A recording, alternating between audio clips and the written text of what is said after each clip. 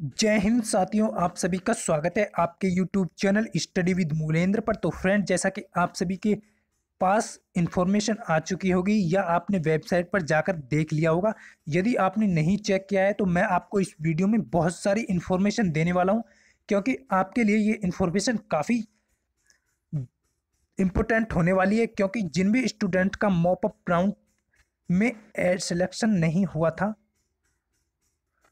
उन स्टूडेंट के लिए ये वीडियो काफ़ी महत्वपूर्ण है। तो फ्रेंड्स, यहाँ पर आपकी वेबसाइट पर करंट वैकेंसीज की जो पोजीशन है, उसका लिंक एक्टिव कर दिया गया है। आप जहाँ पर भी वैकेंसीज खाली हैं, आपकी ब्रांच से रिलेटेड वहाँ पर चेक करके आने वाली आठ और नौ तारीख को, यानी कि आठ तक तो आपके ये एडमिशन चलने वाले हैं, इनकी वेबसाइट पर अपडेट कर दिया गया है। यानी कि नौ, आठ, नौ या दस में, आठ, नौ, दस, इन तीनों में आप जाकर के एडमिशन ले सकते हैं।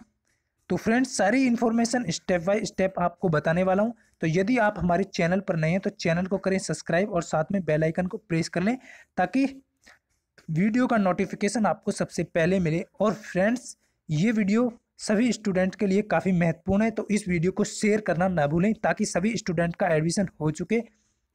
तो फ्रेंड्स मैं चाहूँगा सभी स्टूडेंट जिसने भी इसका फॉर्म अप्लाई किया और जिनके भी नंबर ट्वेंटी से ऊपर हैं तो फ्रेंड सभी का एडमिशन हो जाए, क्योंकि कोई भी स्टूडेंट नहीं चाहे, चाहेगा कि उसकी साल ख़राब हो जाए।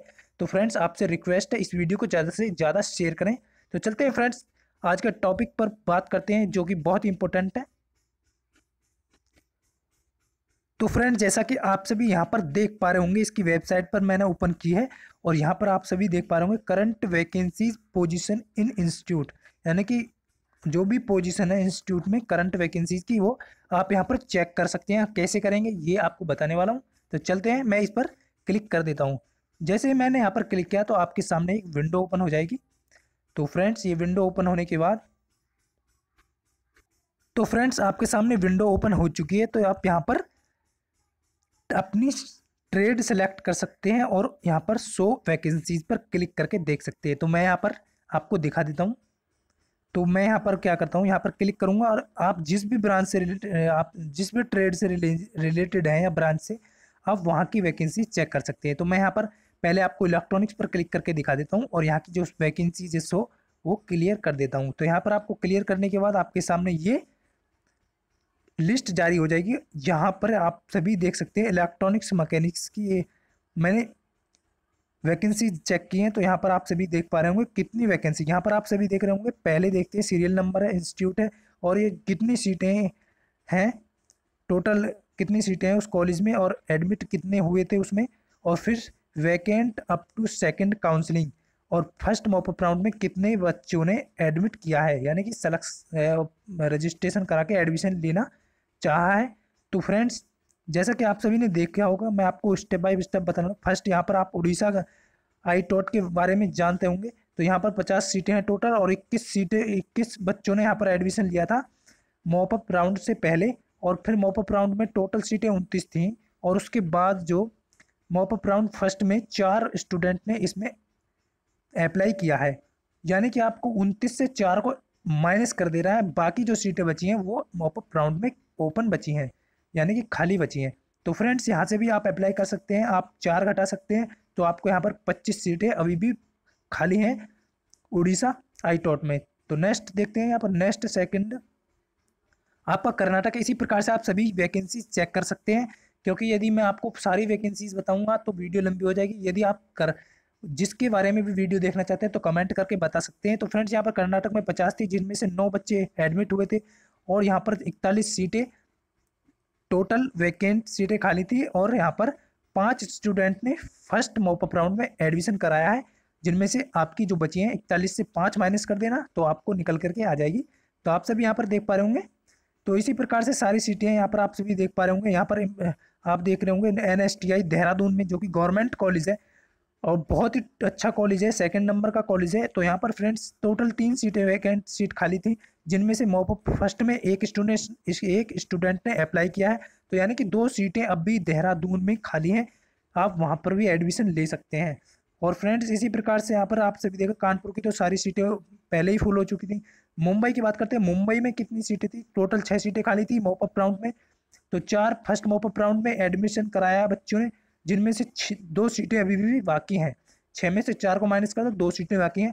तो सारी डिटेल इसी प्रकार से आप यहाँ पर चेक कर सकते हैं।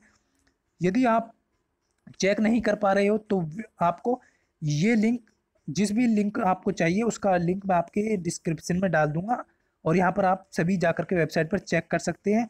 और जैसा कि आप सभी कुछ कमेंट्स आ रहे कि N S T I women Noida के लिए भी यहाँ पर बहुत अच्छी इन्फॉर्मेशन है, क्योंकि यहाँ पर जो चार सीटें वैकेंस वैकेंट सीटें खाली थी, जिनमें से मॉप राउंड फ़र्स्ट में एक सीट पर अप्लाई किया गया है, यानी कि अब भी तीन सीटें बाकी हैं। तो फ्रेंड्स घबराने की कोई बात नहीं है, चिंता का डोंट वेरी कोई चिंता नहीं करेगा, क्योंकि सभी का एडमिशन होने वाला है। तो फ्रेंड्स ये बहुत ही अच्छी खुशखबरी है, और वीडियो को ज़्यादा से ज़्यादा शेयर करें। और नेक्स्ट देख लेते हैं फ्रेंड्स तो फ्रेंड्स, यहाँ पर आप नेक्स्ट की बात करते हैं तो नेक्स्ट कोई भी ट्रेड आप यहाँ पर सेलेक्ट कर सकते हैं, जैसे कि मैं आपको करके दिखा देता हूँ। यहाँ पर कोई भी आपको ट्रेड जैसे कि आपके सामने कितनी, बहुत सारे ट्रेड दी गई हैं। जिस भी ब्रांच से रिलेटेड हैं आप, वहाँ पर सिलेक्ट कर सकते हैं, जैसे कि आप सभी देख पा रहे होंगे। तो फ्रेंड्स, जैसे कि मैं यहाँ पर आपको, आपके सामने बहुत सारे स्टूडेंट इलेक्ट्रॉनिक इलेक्ट्रीशियन वायरमैन का पर क्लिक कर देता हूँ। सो वैकेंसीज कितनी यहाँ पर चेक कर लेते हैं। तो फ्रेंड्स, यहाँ पर आप सभी देख पा रहे होंगे इलेक्ट्रीशियन के बारे में भी यहाँ पर आप सभी देख पा रहे होंगे। मध्य प्रदेश में टोटल सौ सीटें थी, जिनमें से इकतीस स्टूडेंट्स ने सेकंड काउंसलिंग तक एडमिट हुए थे।